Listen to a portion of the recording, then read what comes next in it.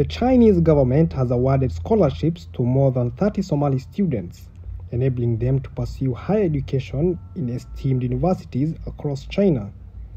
A farewell ceremony organized by the Chinese embassy was held in the capital city of Mogadishu on Thursday, attended by senior government officials and esteemed guests, including the Chinese ambassador to Somalia Fei Sheng Chao. The event witnessed the presence of dignitaries such as Hodan Abdi Osman, senior advisor and national coordinator of human capital development at the office of the Prime Minister, and Ismail Yusuf, the director of the higher education department of the Ministry of Education in Somalia, among others. Notably, students who have successfully completed their education with the support of the Chinese government were also present to share their enriching experiences. Addressing the audience, Ambassador Fei Sheng Chao emphasized the significance of the China-Somalia relations and reflected upon his own experience upon arri- arriving in Somalia. This is a very good opportunity for us to get together and see you off in the coming weeks heading for China.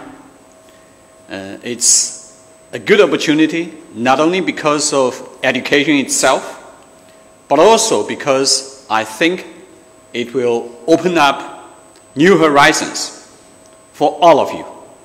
Just as I myself, coming all the way from China to Somalia, opening up my new horizons in this part of the world, and in this great brother of China, in this great land of promise. So now you have an opportunity, seize the opportunity, and make good use of the opportunity. I don't think that China will be your last destination in your global travel, but I'm glad that you will have an opportunity to be there as the world is going through major changes. As you know that the China and Somalia have a long-standing relationship, we are like each other's brothers and sisters. And together, I'm sure you and the Chinese youth and youth from all other parts of the world will make a better world that all of us here are working hard for. The future belongs to all of you.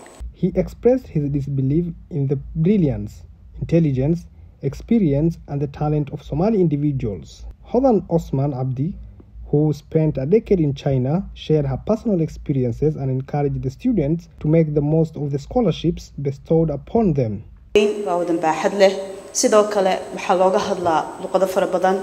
Aan ahayn tan rasmiga ahayd baran doontaan ee mandariinka ah. Waxaad arki doontaan dhaqamo kala duwan. Wadanka cimiladiisu xitaa waa kala duwan tahay. Dhinac kastood aado cimilo kala duwan baad la kulmaysaan. Markaa wadan shisheeye tagno waxa aan aan dadka tusaynaa amba matalaynaa keliya ma aha shakhsiga aad tahay. Waxaad wadataa mas'uuliyad aada ummadda ilaahay amba ummadda meeshaad joogta aad tusinayso dhaqanka ay soomaaliya ku dhaqanto. Waxaa lagaa rabaa waayo aragnimo fara badan inaad ka soo barataan ummaddaasi say u nooshahay say u shaqaystaan say horumar ku gaadheen si aad insha allah tacaala markaa waddankeena ku soo laabataan aada horumarka waddankeena insha allah qeyb kaga qaadataan. Waxaa arkaysaan ardaydiina baron ka galay soomaaliya oo dhan puntland ay ku jirto in maaragtay aan siinay scholarshipkii oo maaragtay loogu soo ardaydan soomaaliya taasna ay tahay cadaalad inay ku baxday.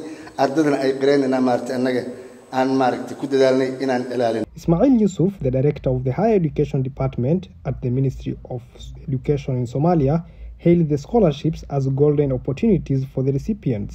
haddii maanta aad tagto china dadkaas si u dhaqmaay dhaqankooda ilasa lagaa baahan yahay soo dalka kusoo noqonaysaan idinkoo cilmi wata aad noo soo noqotaan eh, eh, ku